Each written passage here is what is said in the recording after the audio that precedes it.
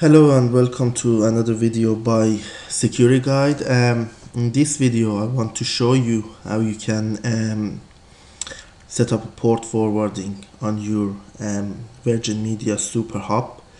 Um, the first thing you need to do is first uh, to open the um, an Internet Explorer or Chrome um, and then type the IP address of local IP address of your Super Hub um, on, on mine it is 196 192 sorry dot uh, 168 dot 0 dot 1 um, is normally written um, on a sticker on the router and um, the username and password should be there as well.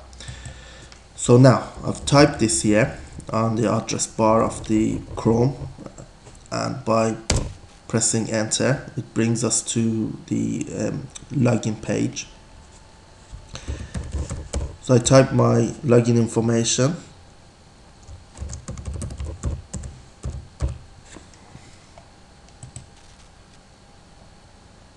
And this is the first uh, the home page of the uh, super hub um, after you log in. There are three main buttons here and one advanced setting button which we need to click on. And then under the security section there is one option called port, port forwarding. Click on that and it brings you to the uh, area that you can set up the service and the rules um, which ports you want to open and uh, point it to which device or IP under that port. There are some uh, default ports here which you can choose um, under the service. If, if it's only some some of the items need only one port to open like port 80 you can simply just go to um, port 80 which is TCP port and uh, you can see that it, it will fill in the rest of the fields for you. All you need to do just point it to the relevant IP of the um, of the device connected to your um, super hub. Um, if you check on your computers, uh, you can see that um, what IPs are dedicated to which devices.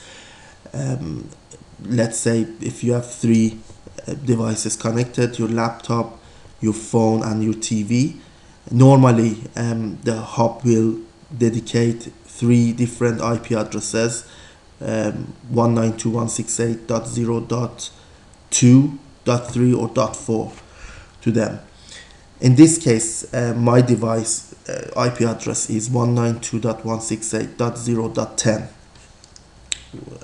which is a DVR recorder. So if I just choose that and add the rule, you can see that it will be added there. So I can simply click apply and the job is done. Um, if you need to delete this port, just simply click on delete option and click apply. And the port will be deleted. Now in this example um, I want to add the port 1234 on TCP port 4321 on UDP and uh, port 4444 on the TCP and UDP okay. So I'm not gonna choose any services because these ports are not um, are not de um, defined by under any services. So I'll go to the um, to choose a name there. And I'm gonna call them DVR1 for the first rule. Start port 1234 and the same at the end port TCP and the IP address 192.168.0.10.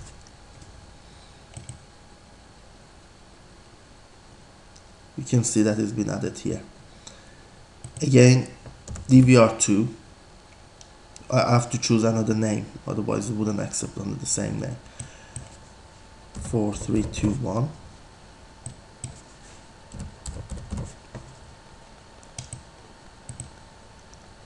Under the UDP protocol same IP address it's added there. And then DVR3